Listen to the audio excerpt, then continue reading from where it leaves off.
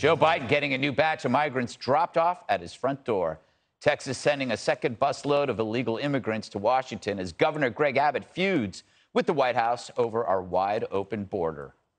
If they're not going to come to the border, I'm going to take the border to them in Washington, D.C. These are all migrants who have been processed by CBP and are free to travel, so it's nice the state of Texas is helping them get to their final destination as they await in their, their outcome of their immigration proceedings. And they're all in immigration proceedings. Hmm. Republicans also calling out Biden's hypocrisy on ending Title 42 the COVID policy that lets border agents kick out large groups of migrants. Biden is still forcing Americans to mask up on planes for the next two weeks. Kilmeade, I wish you would mask up permanently, but that's a story for another time. So mean to Don't you, you. find? By the way, that was in the prompter. It's not your fault. it was in the prompter. yeah. Yes. Um, it's kind of. It's kind. I have to admire Abbott for what he's doing. He's basically taking the border crisis on a road trip. Yeah. You know, to visit its baby daddy. you know, D.C. uh, see, they keep saying, "Oh, it's a stunt. It's a stunt." to stunt. It's nothing about, I don't believe, until I really had a chance to listen to him, I don't believe that Abbott's doing this to win the governorship again. I think he's unbelievably frustrated. I think also he took a big risk slowing down at the legitimate border crossings. Mm-hmm. Everybody coming in to check the cards for fentanyl and for illegals. Everybody's mad at him. But guess what's happening? The mayors in Mexico and those governors are starting to act, say, yep. what is it going to take in order to uh, free this up? And, and just uh, one other thing to add to this the, the the uh, buses are a third full. They're getting out. I feel bad for these people, but there is no way they belong here. They're not. Yep. They're being they're used.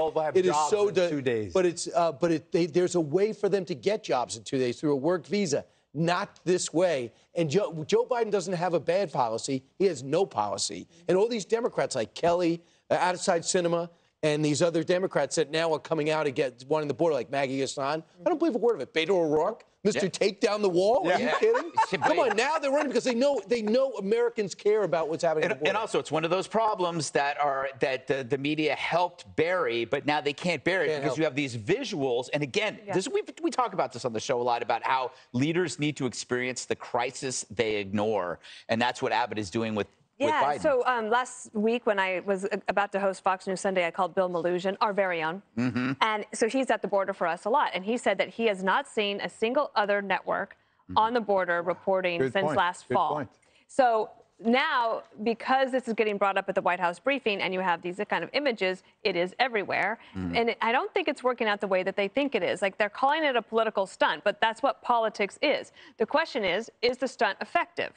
And for two reasons, I think it is. One, people that all live and work in Washington, D.C. are like, well, wait, no, we didn't want them coming here. Right. Yeah. And then the second thing is that you have all of these vulnerable Democrats, you mentioned a couple of them, coming out and saying, no, we can't have this. We absolutely can't have this. The ironic thing is, is that Title 42, which was the health thing, mm-hmm. it was mm-hmm. supposed to basically delay this large part of the political fallout. But now the administration is going to lift it six months before the midterms. It's nuts. So it, it, it backfired. That's why I don't think it's going to happen. What do you think, Harold? Because it is six months before the midterm. Um, I think that Abbott is a hard-nosed showman. This is this is a big, uh, you know, uh, uh, P.T. Barnum act that he's pulled here. Do you think he's really frustrated? I, am not talking about sincerity or what motivated it. It is a big, big uh, uh, show. Uh, but when you look behind the show, the fact of the matter is something that you alluded to.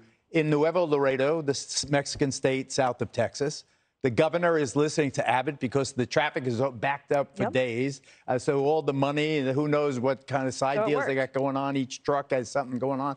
Uh, so I think that uh, Dan is right. I think that uh, there is some positive movement as a result of his activism, and I think that that is to be ultimately applauded. I don't like stunts, but in mm-hmm. this case, I like what he's doing more quietly. He's doing what Trump did. Remember how Trump went to Mexico and said, hey, listen, they're walking 1,400 miles but through your turf. Uh, you know, uh, if you want to, if you want to do business with us, you got to do your share. Last word, Judge. I think that, first of all, I think he's terribly frustrated. I think that Governor Abbott has had to deal with this and the complaints of people who live in Texas, the ranchers on the border, the drugs, the rape trees, which I won't even talk about, uh, and all these kids that they find along the border unaccompanied by adults, little children, little babies. It's crazy. It's absolutely crazy. But what I, I think is also interesting is that now Ron DeSantis is saying, you know, don't come to Florida. We're going to uphold the immigration laws of the United States. Do not come here.